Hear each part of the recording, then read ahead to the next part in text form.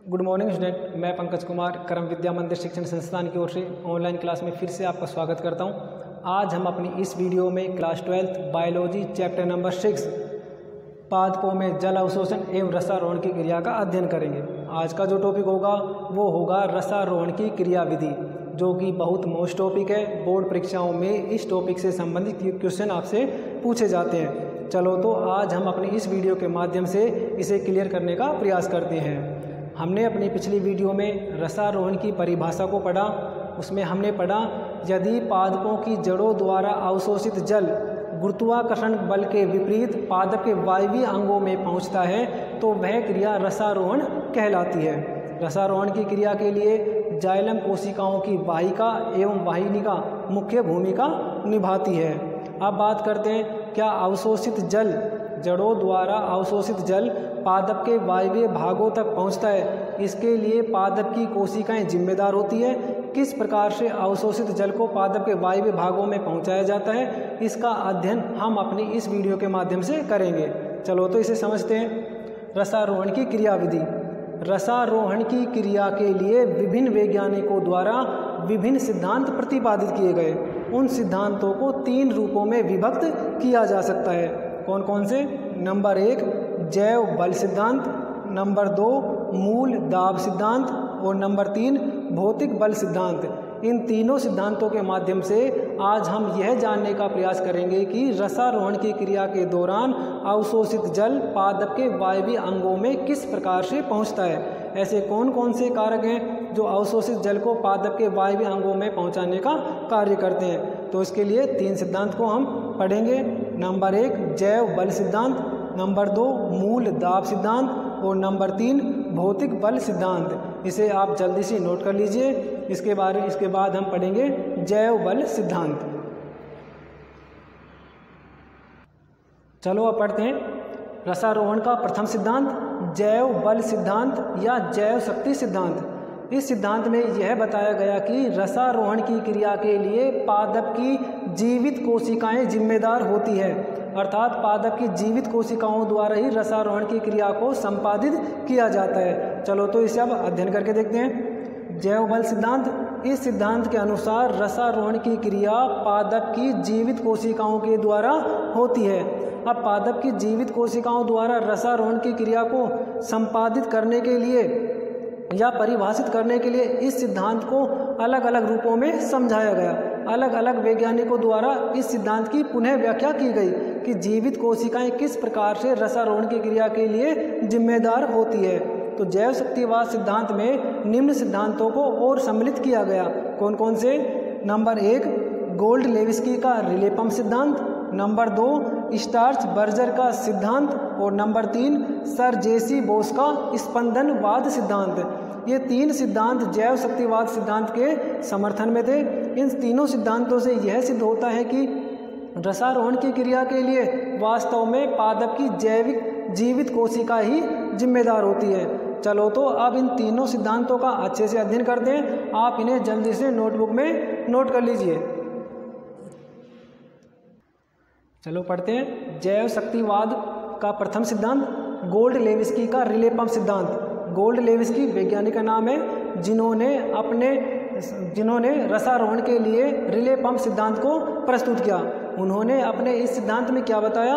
उन्होंने बताया कि पादप की जीवित जाइलम मृदु तक व मज्जा किरणों में परासरणीय आवर्ती परिवर्तन होते हैं। इस परासरणीय आवर्ती परिवर्तन के कारण एक दाब उत्पन्न होता है। उस दाब के कारण ही पादप के अणुओं को पा, पादप के अणुओं सॉरी जल के अणुओं को पादप के वायवीय अंगों तक पहुँचाया जाता है। तो किस प्रकार से रिले पंप सिद्धांत में रसारोहण की क्रिया को बताया? चलो नोट करते हैं। इस सिद्धांत के अनुसार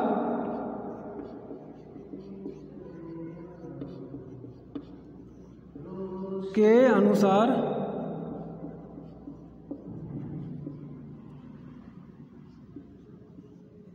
रसारोहण।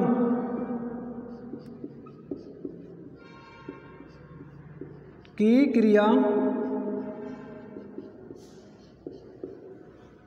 के लिए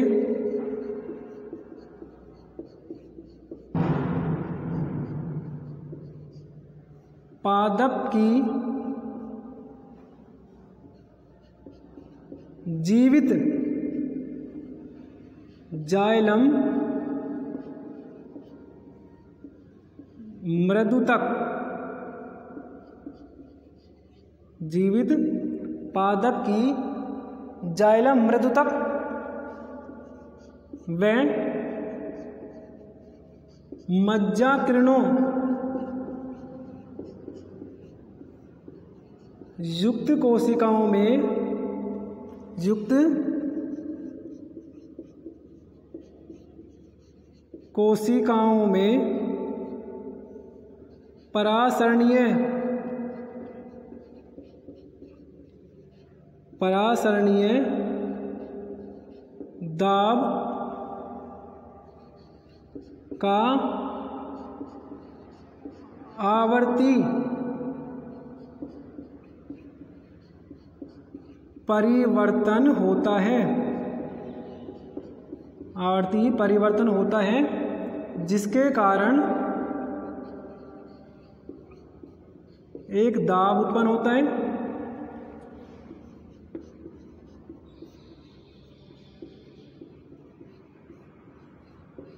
जिसके कारण एक दाब उत्पन्न होता है, जो रसारोहण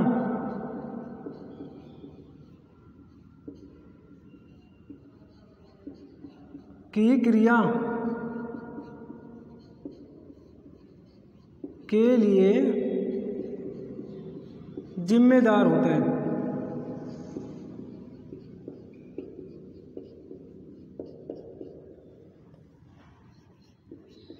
उसी दाब के कारण जाइलम कोशिकाएँ एवं मज्जा किरणों द्वारा अवशोषित अणुओं को पादप अंगों तक पहुँचाया जाता है।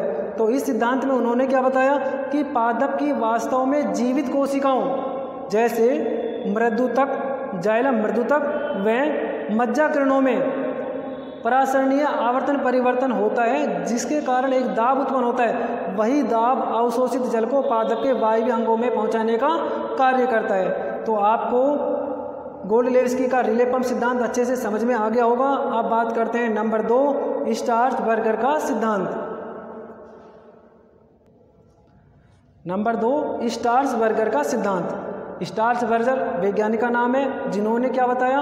उन्होंने बताया, रसारोहण की क्रिया के लिए जीवित कोशिकाओं का कोई संबंध नहीं होता, लेकिन रसारोहण की क्रिया के लिए पादप की जीवित कोशिकाएँ अनुकूल वातावरण निर्मित कर देती है। अर्थात ऐसा वातावरण निर्मित कर देती है जो कि रसारोहण की क्रिया के लिए उत्तरदायी होता है। रसारोहण क्रिया उसके लिए अनुकूल होती है, जो अवशोषित जल को पादप के वायु भागों में पहुँचाने के लिए कार्य करती है। तो इस सिद्धांत में स्टार्च बर्जर ने क्या बताया? इस सिद्धांत के अनुसार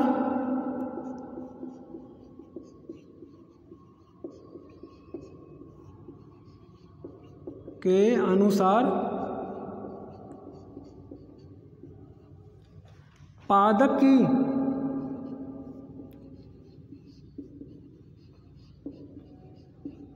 जीवित कोशिकाएँ।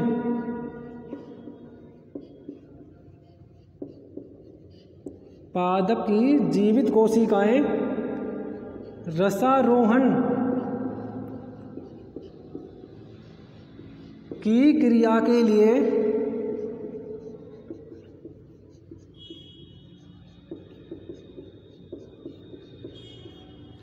अनुकूल।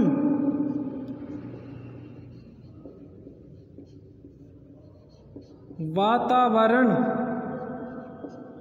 अनुकूल वातावरण। निर्मित कर देती है जिसके कारण अवशोषित जलू, जल के अणु पादप के वायु भागों में पहुँच जाते हैं। उन्होंने यह भी बताया कि पादपों की जीवित कोशिका और रसारोहण से आपस में कोई संबंध नहीं होता, लेकिन पादप की जीवित कोशिका रसारोहण की क्रिया के लिए अनुकूल वातावरण निर्मित कर देती है, जिसके कारण जल आसानी से पादप के वायव्य अंगों में पहुँच जाता है। तो दूसरा सिद्धांत भी आपको अच्छे से समझ में आ गया होगा। अब बात करते हैं जैव शक्तिवाद का सबसे मोस्ट सिद्धांत, सर जेसी बोस का स्पंदन सिद्धांत, जो कि बोर्ड परीक्षाओं में आपसे पूछा जाता है। आप पढ़ते हैं, जैव शक्तिवाद का तीसरा सिद्धांत, बहुत मोस्ट सिद्धांत, जो कि बोर्ड परीक्षा में आपसे पूछा जाता है, सर जेसी बोस का स्पंदन सिद्धांत। सर जेसी बोस द्वारा रसारोहण की क्रिया के लिए स्पंदन सिद्धांत को प्रतिपादित किया। उन्होंने अपने सिद्धांत में यह बताया कि पादपों में रसारोहण की क्रिया हृदय की धड़कन के समान होती है, अर्थात पादपों के अंदर जीवित कोशिकाओं में स्पंदन होता है। उस स्पंदन गति के कारण ही जल के अणु पादप के वायवीय अंगों तक पहुँचाए जाते हैं। चलो तो सर जेसी बोस के स्पंदन सिद्धांत को समझते हैं। सर जेसी बोस का स्पंदन सिद्धांत। इस सिद्धांत को सर जेसी बोस ने सन 1923 में प्रतिपादित किया। इस सिद्धांत के अनुसार जल का रसारोहण वलकुट की भीतरी कोशिकाओं के स्पंदन गति के कारण होता है। अर्थात उन्होंने बताया कि जिस प्रकार शरीर में हृदय धड़कने से रक्त का प्रवाह होता है, उसी प्रकार पादप कोशिकाओं में भी स्पंदन होता है और उस स्पंदन के कारण ही जल के अणु पादप के वायव्य भागों में पहुँच जाते हैं। चलो तो अब इस सिद्धांत को अच्छे से डायग्राम की सहायता से समझते हैं। सर जेसी बोस ने भी एक प्रकार के यंत्र का प्रयोग किया था और इस यंत्र के प्रयोग द्वारा ही उन्होंने स्पंदन सिद्धांत को प्रतिपादित किया था। चलो सर चलो अब देखते हैं, सर जेसी बोस द्वारा किस प्रकार से स्पंदन सिद्धांत को प्रतिपादित किया गया? आप इसे नोट कर लीजिए। आप अध्ययन करते हैं, सर जेसी बोस के स्पंदन सिद्धांत का प्रयोग प्रदर्शन के रूप में, उन्होंने किस प्रकार से स्पंदन सिद्धांत को प्रतिपादित किया? चलो तो अब इसे समझते हैं। सबसे पहले उन्होंने कुछ सामग्रियों को लिया। कौन कौन सी सामग्री ली? नंबर एक एक पादप लिया, जिसका नाम था टेलीग्राफ। टेलीग्राफ पादप। नंबर दो गैल्वेनोमीटर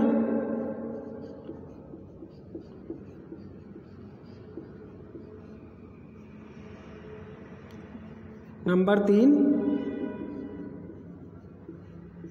सुई। नंबर चार बैटरी। उन्होंने स्पंदन सिद्धांत को समझाने के लिए चार सामग्रियों का उपयोग किया। कौन कौन सा? पादप, भारतीय मूल जाति का पादप है, जिसका नाम है टेलीग्राफ। पादप टेलीग्राफ पादप को लिया। नंबर दो, गैल्वेनोमीटर। नंबर तीन, सुई। और नंबर चार, बैटरी। इन चारों पादप सामग्रियों को, इस चारों सामग्रियों को आपस में उन्होंने जोड़कर एक यंत्र निर्मित किया। वो यंत्र कहलाया इलेक्ट्रॉनिक प्रोब। इलेक्ट्रॉनिक प्रोब यंत्र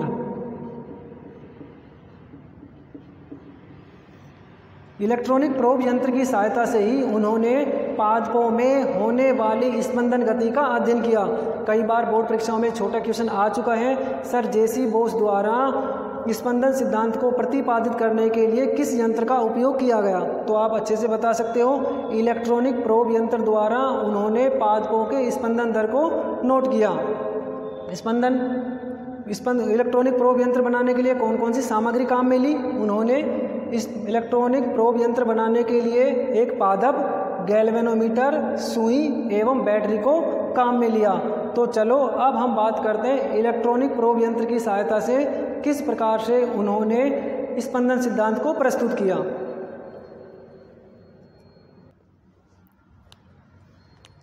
चलो, अब इसे समझते हैं। सबसे पहले उन्होंने एक टेलीग्राफ पादप को काम में लिया।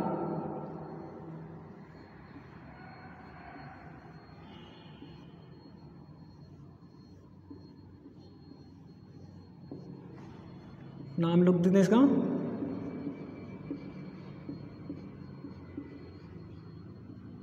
टेलीग्राफ पादप। अब उन्होंने किस प्रकार से इस पादप के स्पंदन दर को ज्ञात किया? उन्होंने एक लंबी सुई, एक लंबी सुई को लिया और उस सुई की पतली नोक को पादप कोशिका के वलकुटी क्षेत्र में प्रवेश कराया। अर्थात उस लंबी सुई को पादप के जाइलम कोशिकाओं तक उन्होंने पहुँचाया। यहाँ पे लिख देते हैं। सुई, अब इस सुई के एक भाग से गैल्वेनोमीटर तथा दूसरे भाग से बैटरी को जोड़ा। इस प्रकार से उन्होंने बैटरी से जोड़ा। अब उन्होंने क्या नोट किया? जैसे ही इस प्रोब यंत्र की सुई को, जैसे ही इस प्रोब यंत्र की सुई को पादप कोशिका के बलकुटी क्षेत्र में पहुँचाया जाता है तो प्रोब यंत्र से जुड़े हुए गैल्वनोमीटर में विक्षेप उत्पन्न होता है और उस विक्षेप से स्पष्ट होता है कि वास्तव में पादप कोशिका की बलकुटी क्षेत्र में स्पंदन होता है। स्पंदन के कारण ही पादप के अणु पा, पादप के वायु विभाग सॉरी जल के अणु पादप के वायु विभागों में पहुँचते हैं। तो आप इस प्रयोग को अच्छे से समझिए। सर जेसी बोस ने प्रोब यंत्र निर्मित किया। प्रोब यंत्र में सुई गैल्वेनोमीटर एवं बैटरी को एक साथ जोड़ा। सुई को पादप कोशिका के आंतरिक बलकुटी क्षेत्र में प्रवेश कराया तथा बैटरी से विद्युत धारा प्रभावित की। विद्युत धारा प्रभावित करने के पश्चात उन्होंने पाया कि गैल्वेनोमीटर में विक्षेप उत्पन्न होता है। विक्षेप उत्पन्न होने से उन्होंने सिद्ध किया कि वास्तव में ही पादप की कोशिकाओं में कहीं ना कहीं स्पंदन होता है। उस स्पंदन के कारण ही जल के अणु पादप के वायवी अंगों में पहुँचने का कार्य करते हैं। तो इस प्रकार से उन्होंने इलेक्ट्रॉनिक प्रोब यंत्र की सहायता से पादपों में होने वाली रसारोहण की क्रिया का अच्छे से अध्ययन किया। आपको आज की इस वीडियो का जैव शक्तिवाद सिद्धांत अच्छे से समझ में आया होगा। अपनी नेक्स्ट वीडियो में भौतिक बल सिद्धांत एवं मूलधाप सिद्धांत का अध्ययन करेंगे। इसके लिए आप लगातार इस चैनल को देखते रहें। चैनल को लाइक करें, सब्सक्राइब करें और कमेंट भी ज़रूर करें। धन्यवाद।